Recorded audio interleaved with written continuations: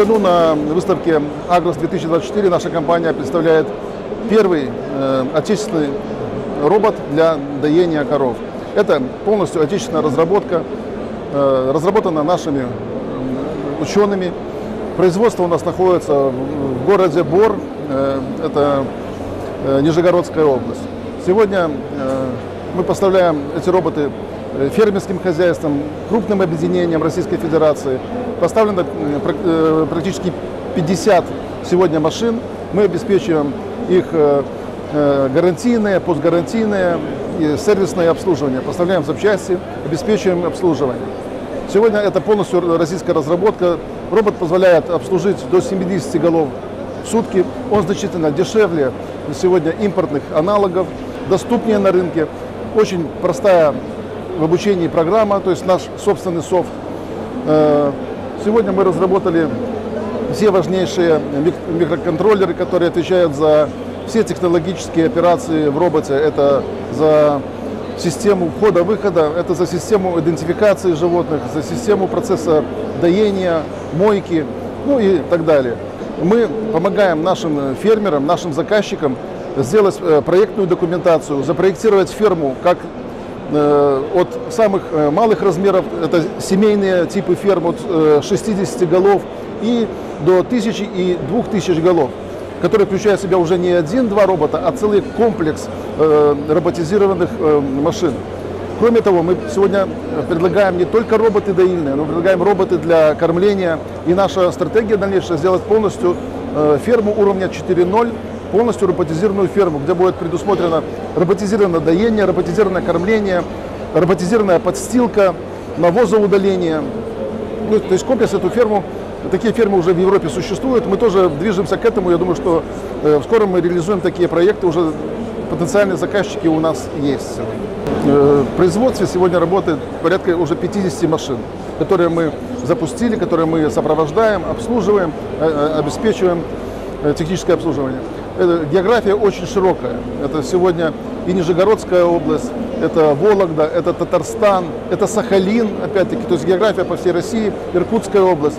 То есть э, наше оборудование уже знают, поэтому его работает достаточно много. И с каждым днем я хочу сказать, что количество заказчиков увеличивается. Сегодня, к сожалению, демографическая ситуация, которая складывается в сельском хозяйстве, она складывается далеко не в лучшую сторону. И количество работников на селе, специалистов на селе э, ежегодно уменьшается. Поэтому сегодня будущее, безусловно, за новыми инновационными разработками и за новыми технологиями. Э, сегодня наше оборудование можно установить как на малых семейных фермерах, благо, так и на больших предприятиях. Благо, что сегодня существует система поддержки таких предприятий э, государства. То есть есть э, меры субсидирования, они отличаются в зависимости от региона, составляют от 40 до 90% субсидирования на данное оборудование. Поэтому э, оно благодаря таким мерам поддержки становится более доступным нашим заказчикам.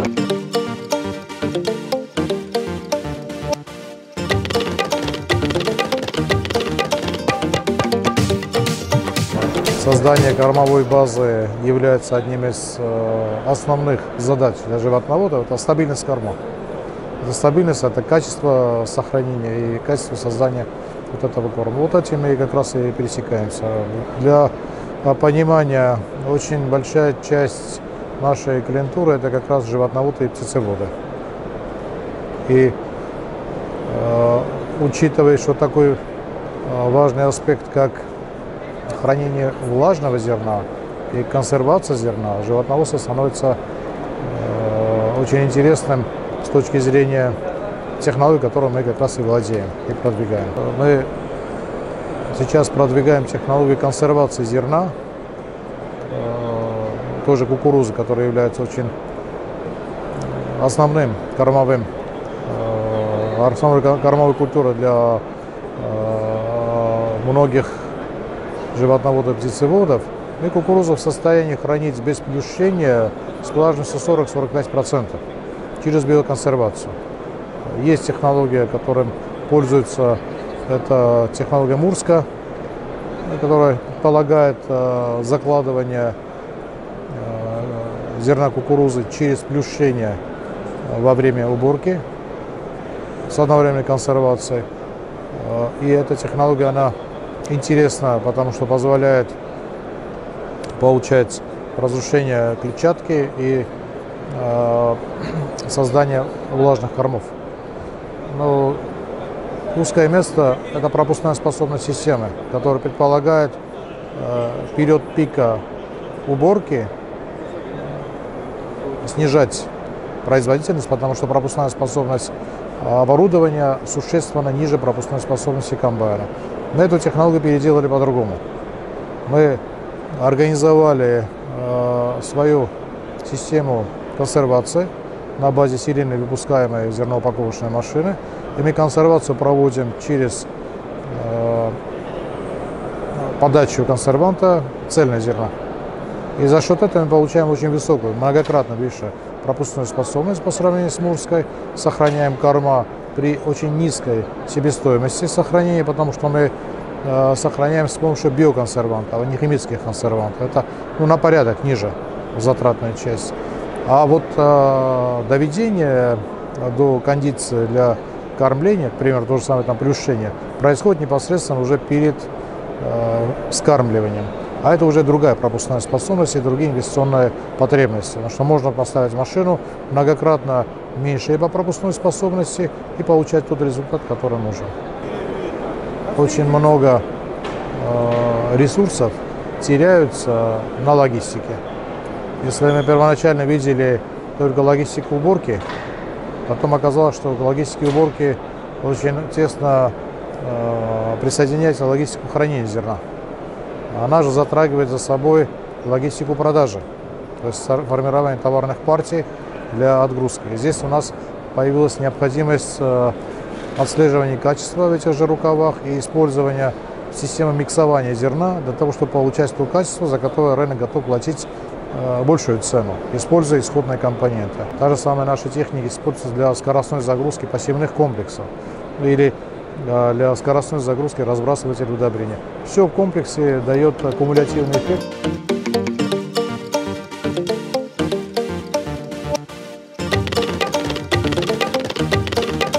Alors, mi привезли на наш стенд, что ми активно сейчас продаем в мире. Включена наш матрас, водяный матрас, который называется Aquastar, а тоже наши покрытие для поля, который называется Magellan. Это покрытие, где внутри есть э, канавки.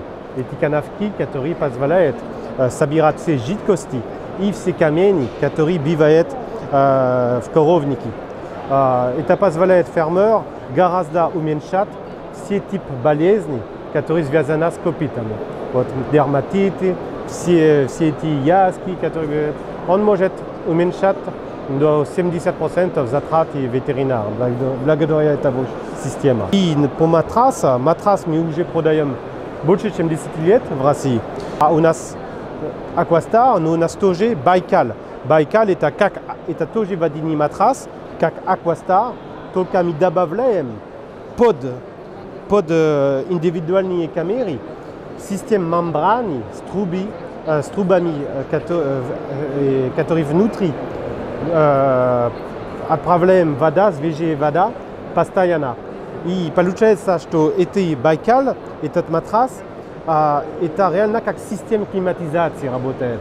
Вот. Если у вас температура, как на юге или как в Сибири, иногда летом 35-40 градусов, тогда мы можем предлагать Байкал. И Байкал, есть система рециркуляции воды, который э, постоянно, э, э, постоянно холодная, ну, вечная, свежая вода, и который позволяет получать поверхности всегда на температуру, идеальной температуре, чтобы не было тепловый стресс. Потому что ирригация, это хорошо работает, в принципе, но есть один маленький проблем, это когда, когда ирригация есть, есть много воды везде, и это создает другой тип проблем, как болезни, которые, особенно болезнь, которые с копытами. Вот, но если у вас Байкал, вода остается в кровати. Вот. Поэтому это не влажный, и, и корова гораздо лучше, чем под ирригацией.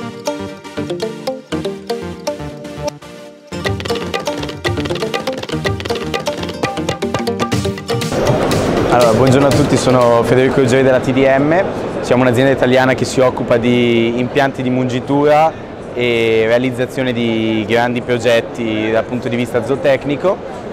Eh, noi collaboriamo diciamo, con aziende russe ormai da parecchio tempo e siamo presenti alla Agros Expo dal circa il 2015-2016. In primo luogo noi ci occupiamo come detto impianti di mungitura e abbiamo esposto la nostra giostra di mungitura R3 che è principalmente utilizzata in eh, grossi allevamenti. Dopodiché noi montiamo tecnologia Afimic e lavoriamo anche dal punto di vista delle batch milking, dei veri e propri robot di mungitura disposti a semicerchio e questo noi andiamo a chiamarla appunto una vera e propria sala di mungitura роботизата. Роботизированное доение, которое там представлено, а, там все идет, ведет к тому, что а, мы уходим от человеческого фактора. А, значит, на сегодняшний день очень большие проблемы с персоналом, то есть очень проблема с дойерами, большая очень стоит в России. Соответственно, эта технология именно на это и нацелена, заменить оператора машинного доения. Значит, данная ферма управляется одному, одним-двумя людьми, и корова заходит, отдаилась индивидуально, выходит, соответственно, уходит к себе на место. Это, она может доиться три раза, два раза то есть это вот именно вот такая технология. Доильные залы насколько большие, сколько живут? Ну, данная компания производит доильные залы, допустим, карусели от 20 э, до 110 мест. Э, значит, параллели от 2 по 8 и 2 по 40.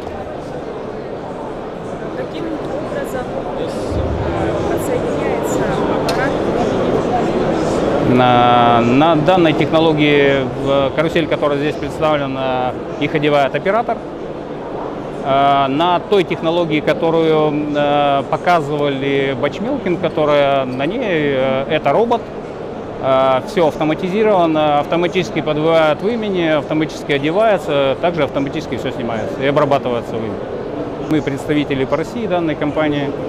Э, мы видим в эту перспективу, э, соответственно, многие компании из рынка ушли, но компания TDM выбрала для себя, скажем, правильную позицию. Они, в отличие от многих других, поставляют, мы все привозим напрямую, без всяких третьих стран.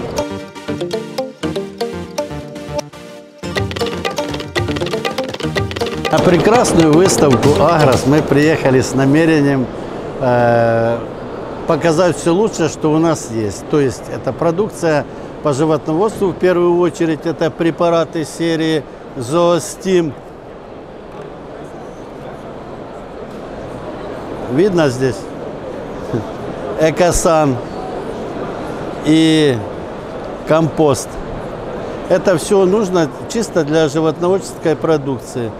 Препарат Застим – это пробиотик для рубца, для кишечника. Это полезно и, и маленьким теляткам, и взрослым животным. Препарат Экосан делает санацию в помещениях, ну и, само собой, биологическую защиту, убирает запах. Значит, в основном мы, конечно, работаем по растениеводству.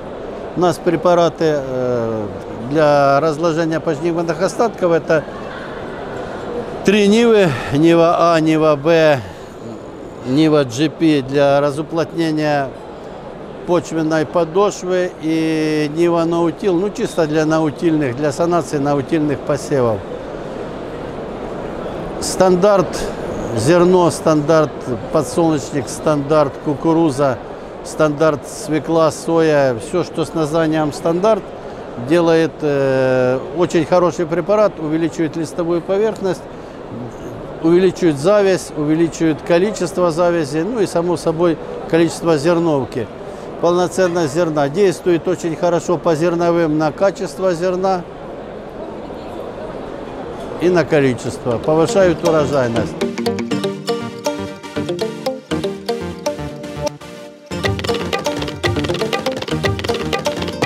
Более пяти лет уже на этой выставке выступаем. Что аграриум предлагаете?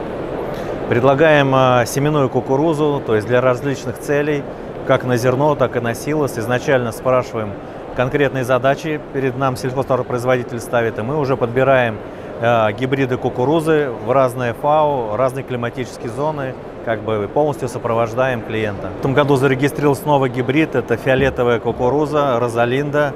Э, это уже для птицефабрик, то есть это фиолетовое зерно, которое при скармливании э, курицы, когда ее начинает потреблять, желток становится как деревенское яйцо. То есть уже не надо добавлять ни краситель, это, это натуральный, грубо говоря, краситель, каротин, который содержится в зерне. Это вот новинка этого года.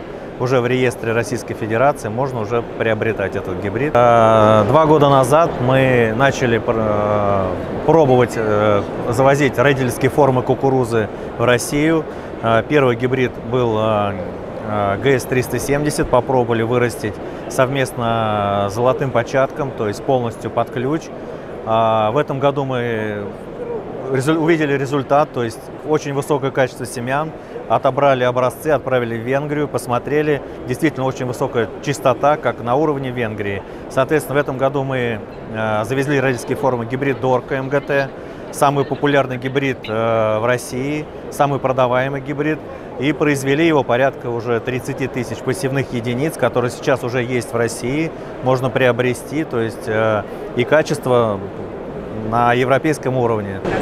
Мы постоянно посещаем данную выставку и не только эту выставку. Наша компания занимается поставкой сельскохозяйственного оборудования от европейских производителей. В частности, сегодня мы представляем э, плуг оборотной чешской компании Opel Agri, а также сеялку пропашную итальянской фирмы Sfoggia. Как бы там ни было, но все заводы-производители хотят остаться на рынке, применяют всевозможные моменты, которые только у них есть. Делают какие-то дополнительные скидки или какие-то дополнительные условия по финансированию. Но никто не хочет уходить с рынка, потому что всем надо работать.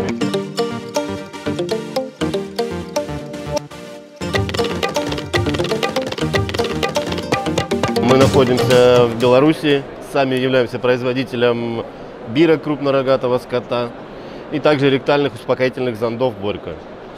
Ну, бирки вы можете сами посмотреть, качество хорошее, отличное, делаем с 96 -го года. В выставке Агрос принимаем участие не, по-моему, уже раз третий, наверное, мы выставляемся.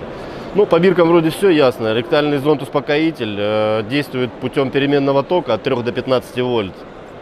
Э, абсолютно безопасен, он обездвиживает э, крупнорогатую скот, ну то есть корову, бычок, телка для подрезки копыт, э, дойки, осеменения, там, ну любые эти. Переменным током действует, обездвиживает животного, не, не наносит никакой вред абсолютно. Класс защиты IP67, то есть абсолютно можно мыть. Здесь имеется шкала индикаторная, управляем током больше-меньше. Занимаемся производством овощей, овощей, в частности, основной продукт это картофель, э, морковь, свекла э, в небольших количествах используем, но также зерновые, очень много зерновых, немного зерновых, а группы разные, это пшеница, овес, ячмень, также соя краснодарской селекции, нынче вот второй год выращивали, попробовали ее, очень понравилось компании Сока. И э, занимаемся еще производством люцерны на гранулы для э, кормления, скажем, э, на птицефабрику для кур сушек. А обычно мы на выставках присутствуем. Выставки это у нас проходит там э, Сибирь, Новосибирске большая выставка ежегодно и наши региональные. Но там в основном техника. А сами вот эти технологии, да, скажем, руководство или не знаю, как это вот, ну маленько другой формат. Это для меня впервые на такой выставке и очень впечатляет. Ну, скажем, выставка это дала очень много, э, раскрыла, наверное, вопросов, которые у меня были, э, вопросы по выращиванию, там, к примеру, диссекация вот картофеля очень сильно такая больная тема, скажем, да, а оказывается, вопрос уже решен. И, скажем, на этой выставке поделились уже компании, как можно решить этот, ну, не решить, а шагнуть дальше, скажем. Э, потому что у нас в Сибири очень мало, ну, скажем, теплых дней, и картофель нужно убрать в короткий срок и прекратить вовремя вегетацию, остановить. Это ж э, как бы подобрать дни, время. И по сортам картофеля сейчас еще открыл для себя новый сорт картофеля, скажем так, в компании. Попробовал на вкусовые качества. Ну, очень было, скажем так, познательно.